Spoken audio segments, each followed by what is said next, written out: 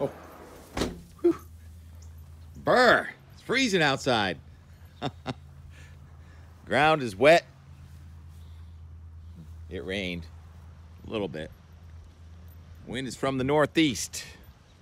Look at this chilly midsummer weather with the wind coming in off the ocean, but I think the water temperature is in the 70s, so how can the air temperature be in the 60s? It's a chilly air mass. Came into Maine two days ago, and now it's covering most of New England, along with this cloud. A lot of low-level moisture. You can see some thin spots up there towards Gloucester, but it's almost chilly outside. Turn the air conditioner off, open the windows. I think we should be able to leave the windows open. The front that went through yesterday with all those thunderstorms is further offshore now than we thought it was going to be. It's way off south of Nantucket, but low-level moisture is left around. Where were you when that front came through? I was right here in the backyard. It was pretty impressive. And wind gusted before the rain even came in. We had a gust to about 35. Temperature was in the mid 90s, and then it rained five minutes. And let's go check the rain gauge. But uh, the the people on Cape Cod got a real treat if they're sky loving, sky watching lovers of weather. Johnny Rockets shared this. One of his neighbor took the picture of the uh, wall cloud coming in off of Cape Cod Bay in Truro, where there was about three quarters of an inch of rain. T-Rex, how much did we get? 01, 02, 03, 0.04 out of all that. Yay. Not sarcastic.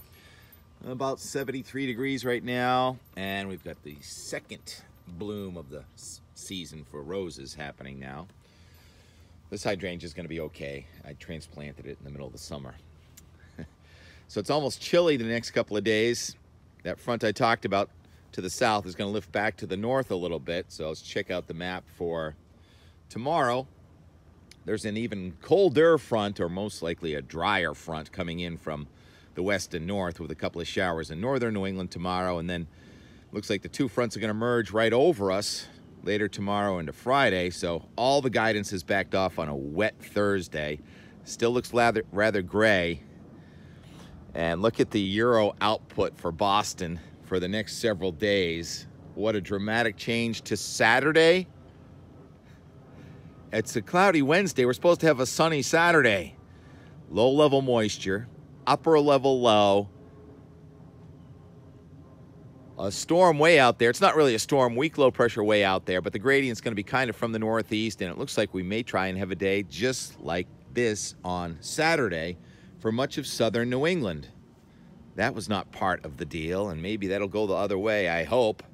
But that upper level low has got some pretty cold air aloft, so it's going to be challenging with the moisture down below and not a lot of wind to mix that low level moisture out. And when it tries to mix out, it'll rise and cause afternoon cumulus clouds. So all of a sudden, the weekend is not looking as good. It's Wednesday, twilight race, sailboat races in Hingham Bay today. It's remarkable. This is about the third week in a row where we're going to have hardly any wind from the southeast, maybe about 10 miles an hour. Between all these heat waves, we've had all these uh, chillier Wednesdays. Not that it was chilly last Wednesday, but it seems like we get a high pressure system over Maine every day. Uh, how to read this thing, you can see the barb, the flag kind of points to where the wind is from. So over Nantucket, that's from the northeast at 10 knots, and right around Boston, that's just a, a flat from the southeast with no barb on it at all. That's five to 10 miles an hour. I think it'll be a little stronger than that. Blue Hill Observatory having an event today at Trillium. You're invited. Of course, a donation is greatly appreciated.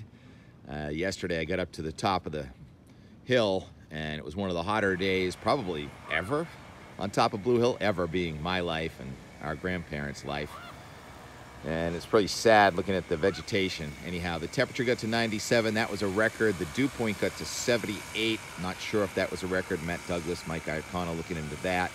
But I saw the heat index on the Davis instrument anyway got to 108 yesterday, but they're still working on the uh, the observatory, inside of which is going to be the future Mish Michaels exhibit hall for scientific discovery.